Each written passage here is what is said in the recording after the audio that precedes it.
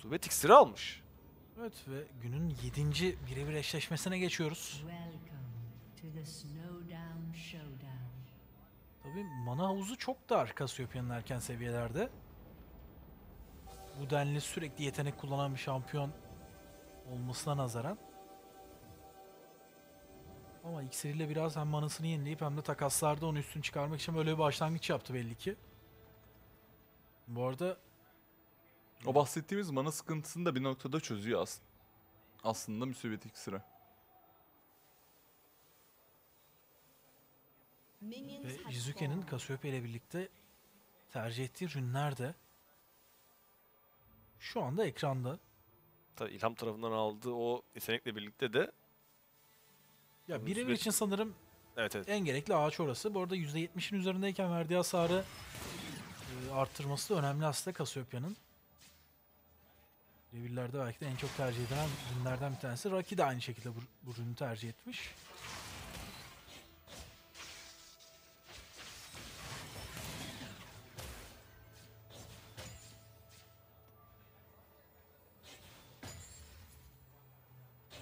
Jizuke şu ana kadar 1 milyon kaçırdı. Diğer tarafta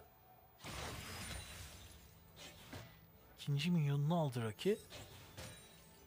Şu ana kadar Jizuke koridoru eşleşmeyi kontrol eden taraf ve seviye 2'ye ulaştı.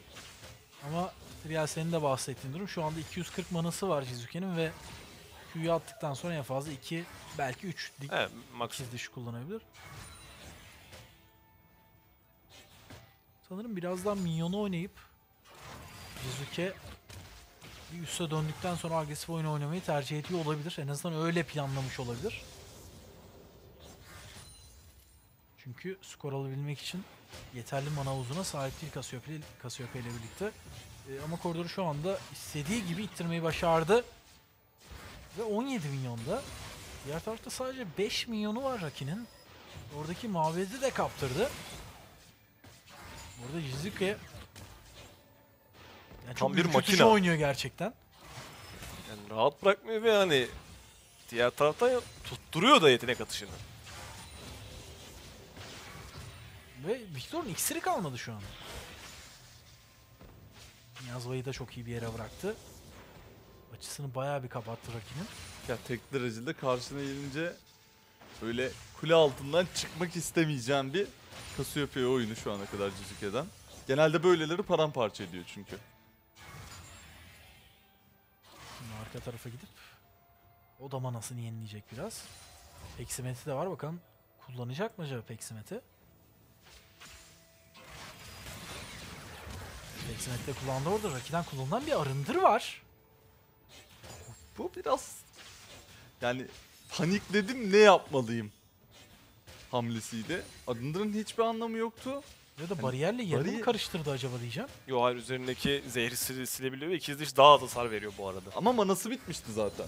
Bir tane attı da işte tam havada mıydı görmedim o arada iki, ikiz dişi ama en azından mantık olarak hani doğru hamle yaptı ama geç basmış olabilir.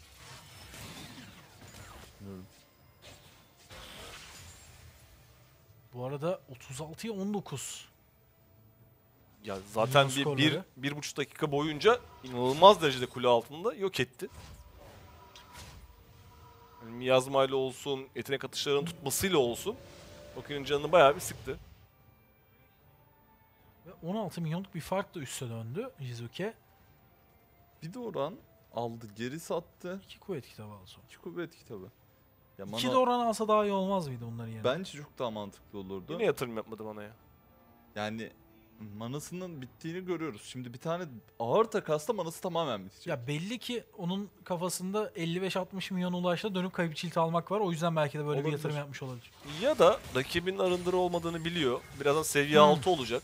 Hani seviye 6 olduğunda direkt hasara gitmek istedi. Evet. Minyon'a da oynayabilir tabii çok çok önde Minyon'da. Yani sadece skor odaklı değil de Minyon odaklı devam ettiğini de görebiliriz.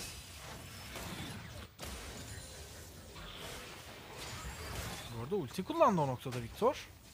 Tabii Jizuke kazandığı hareket hızıyla birlikte hızlı bir şekilde uzaklaştı. Onun da e, seviye 6'ya ulaşması sanırım 1 milyon var sadece. Bu arada bitkinliği kullandı. Rakibin üzerine seviye 6'ya ulaşacak mı? O minyon ölecek mi acaba? Gerek yok gibi duruyor. Bariyer Sevilir. geldi ama. Seviye 6'ya daha ulaşmadan Birebir skorunu aldı Jizuke. Bence yani tabii daha son karşılaşmayı görmedik ama günün en iyi 1 ve 1'i diyebiliriz. Evet. Biraz tek taraflı oldu ama şunu da ekleyelim. Yani Jizuke de yok etti açıkçası. Yani bu kadar baskılı bir oyun, bu kadar erken seviyede rakibini kule altına hapsedip hem de hani hapsetmekle kalmayıp milyonlara bile yaklaştırmadı. Bu çok önemliydi. Ee, Rocky de artık bir yere kadar baskıya dayanamadı ve orada açıkçası